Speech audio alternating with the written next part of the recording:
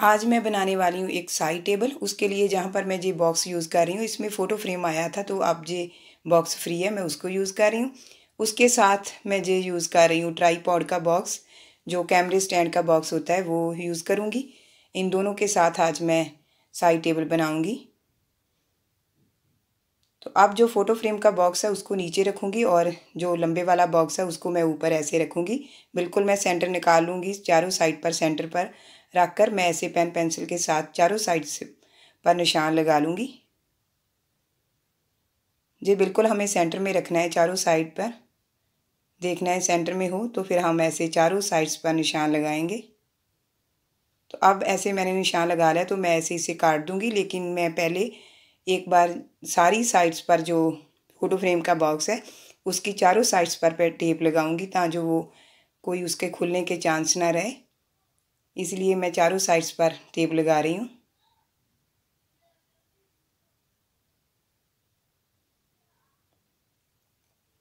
तो अब मैं कटर के साथ जो मैंने पहले निशान लगाया हुआ है, उसको काट लूँगी।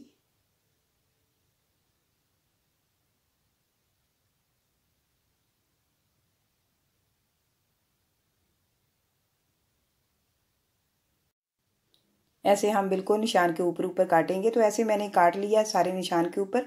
तो अब मैं जो लंबे वाला बॉक्स लिया हुआ है, उसको बीच डालकर देख लूँगी कि जो मैंने काटा है, वो बिल्कुल ठीक काटा गया है।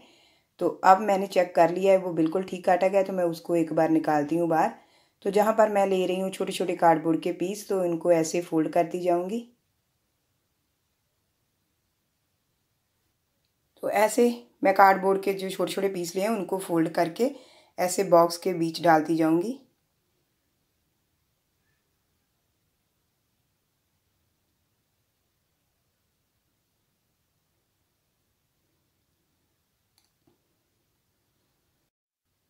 ऐसे में काफ़ी पीस कार्डबोर्ड के मैंने लिए हैं, जिनको मैं ऐसे फोल्ड करके, ऐसे बॉक्स के बीच डालती जाऊँगी उनको सेट करती जाऊँगी तब तक जो वो बॉक्स खाली है, वो पूरी तरह फिल हो जाए। हमें पूरी तरह नीचे का बॉक्स फिल करना है, क्योंकि उसमें कोई खाली पान ना रहे।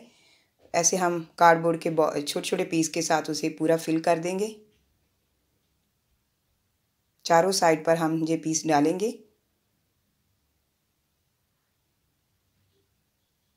ऐसा करने से ये बॉक्स नीचे से हार्ड हो जाएगा। तो अब उसके ऊपर मैं डाल रही हूँ फेविकोल।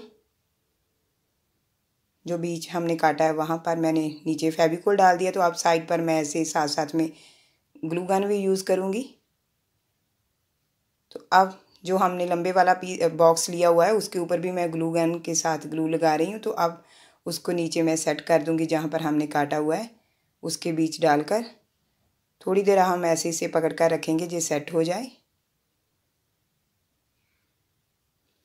तो अब फिर ऊपर भी सेट करने के बाद नीचे वो फिक्स हो चुका है तो ऊपर भी जो साइड्स है, वहाँ पर भी मैं ग्लू गन के साथ ग्लू लगा रही हूँ। क्योंकि वो प्रॉपर तरीके से और सेट हो जाए फिक्स हो जाए वहाँ पर। तो अब ग्लू गन लगाने के बाद मैं एक बार फिर इसके ऊपर टेप लगा रही हूँ। इसे और पक्का कर रही हूँ टेप लगा रही हूँ। चारों साइड्स पर मैंने ऐसे टेप लगा दी फिर।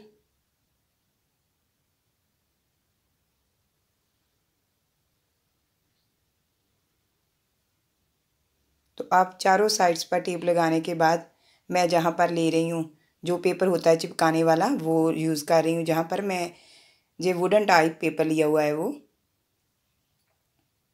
तो उसको ऐसे मैं सेट करूँगी, मैंने काट लिया है, उसके साइज़ के अकॉर्डिंग जितना भी लंबा बॉक्स था उसका पहले मेज़रमेंट किया हुआ है मैंने, उसके अकॉर्डिंग मैंने काटा है तो अब ऐसे मैं नीचे से पेपर को खिसकाती जाऊँगी और जो ऊपर वाला पेपर है उसे मैं सेट करती जाऊँगी बॉक्स के ऊपर।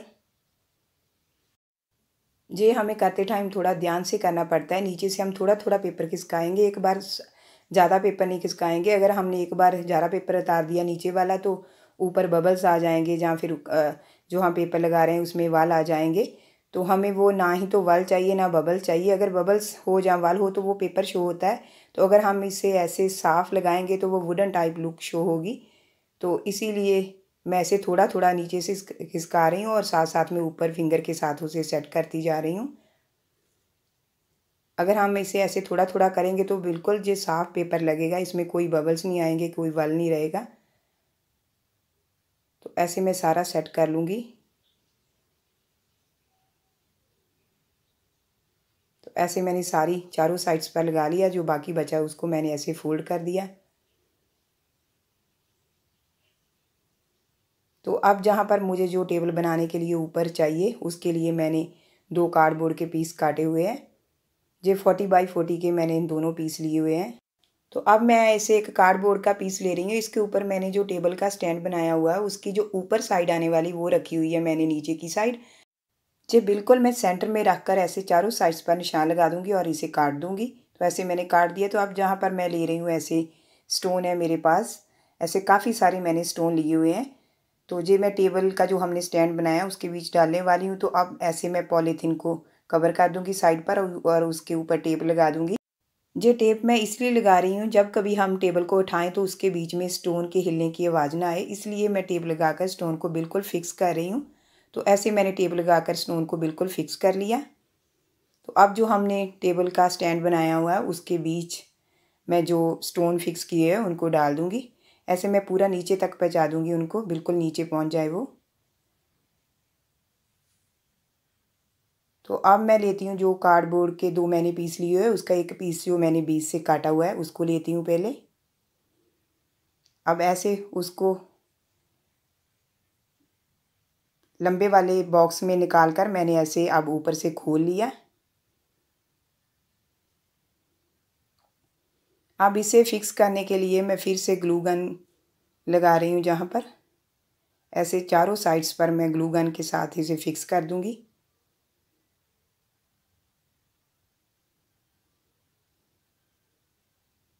तो अब चारों साइड से मुझे करने के बाद जो इसका जहाँ जे बॉक्स होता है, जो खुलने के पीस होते हैं, इनको भी मैं ऐसे जहाँ पर अटैच कर दूँगी ग्लू गन के साथ। मैंने ऐसे चारों साइड से पीस को ग्लू गन के साथ अटैच कर दिया तो अब मैं एक बार उसे और पक्का करने के लिए चारों जो पीस मैंने अटैच किए उन पर टेप लगाऊँगी।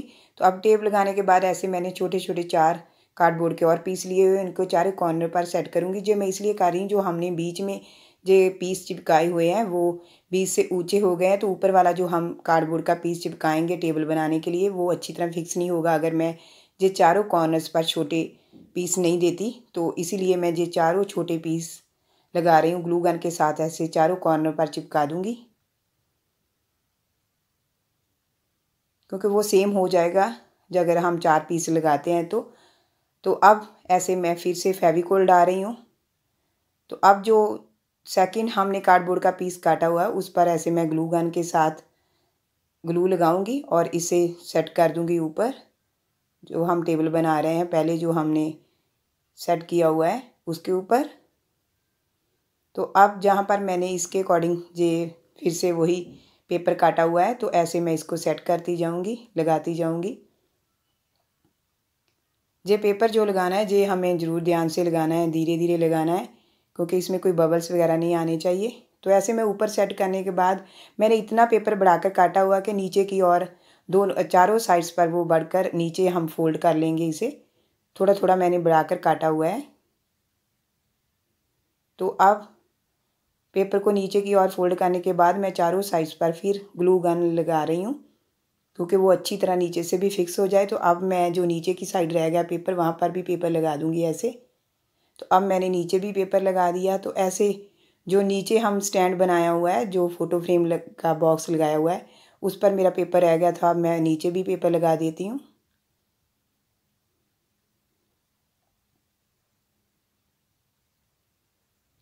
ऐसे हम सारे नीचे भी पेपर लगा देंगे।